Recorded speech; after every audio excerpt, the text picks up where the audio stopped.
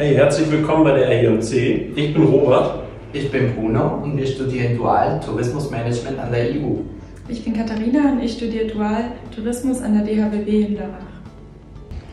Da wir hier bei der REMC in Hamburg in der Hotelzentrale einer Hotelgesellschaft sind und nicht im Hotel selbst, sind wir hier für die operativen Tätigkeiten im Hintergrund zuständig.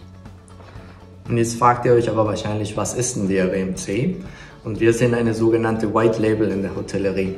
Das heißt, dass unsere Hotels nicht REMC Hotels heißen, sondern dass da bekannte Marken hinterstecken.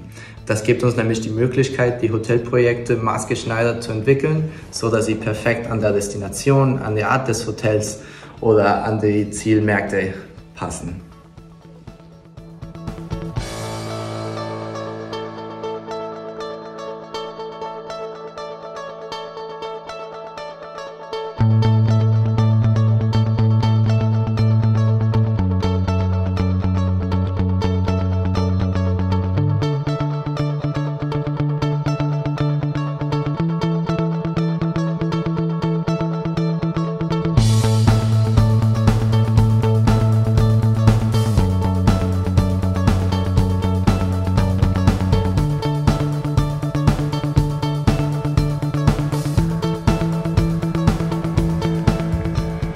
Wie bereits erwähnt, Bruno und ich sind beide an der EU am Campus in Hamburg.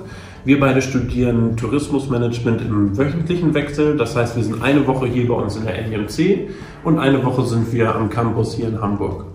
Und dann gibt es noch die Möglichkeit, dass man in der geteilten Woche studiert. Das heißt, man ist drei Tage im Betrieb und zwei Tage in der Uni. Bei dem dualen Studium an der DHBW in Lörrach ähm, ist der Wechsel bei mir blockweise. Also ich bin jeweils drei Monate in der Uni und dann wieder drei Monate im Betrieb und das wechselt sich dann jeweils ab.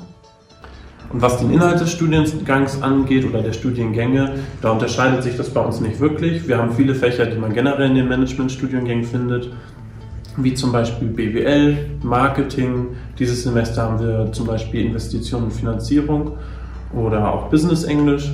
Und ab dem fünften Semester kann man dann ein Vertiefungsmodul wählen. Da gibt es zur Auswahl Hotellerie, das haben wir zum Beispiel jetzt gewählt. Dann gibt es aber auch noch Event und Reise und Vertrieb.